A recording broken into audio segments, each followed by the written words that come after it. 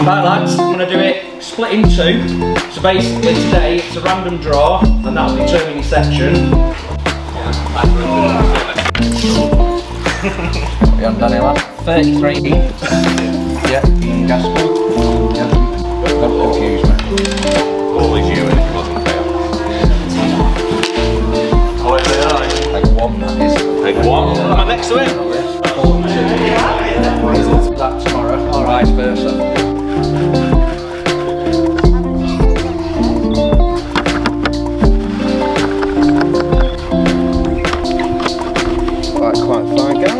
Get